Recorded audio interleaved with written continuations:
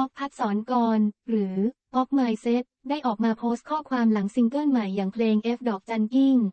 ไลยูฟีดมายาราบโดนวิจารณ์อย่างหนัก หลายคนคงรู้จักกันเป็นอย่างดีสำหรับป๊อกพัดสอนกร AKA ป๊อกไมเซ็ตล่าสุดเพิ่งจะปล่อย ซิงเกิลใหม่เพลง F ดอกจันกิ้งไลยูฟีดมายาราบจนเกิดกระแสวิพากษ์วิจารณ์ว่าคล้ายกับเพลงของศิลปินคนอื่น ล่าสุดทางด้านป๊อกพัดสอนกรได้ออกมาเคลื่อนไหวผ่านสตอรี่ไอจีถึงประเด็นนี้แล้ว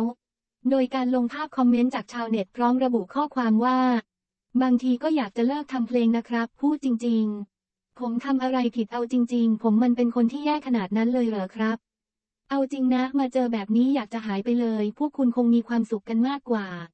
นอกจากนี้ป๊อกยังระบุอีกว่าผมทำเพลงมาตั้งแต่อายุ 16ทำเพลงบนดินมาก็ประมาณ 10 ปี ผมทำตามความฝันและความชอบของตัวเองล้วนๆค่ายก็ไม่มีทางบ้านก็ไม่ได้สนับสนุนทำเพราะความสุขจริง ๆ ทำเพลงมาก็เยอะมาก ดังบ้างไม่ดังบ้าง จนวันนี้มันกลายเป็นอาชีพที่เลี้ยงดูผม ครอบครัวผม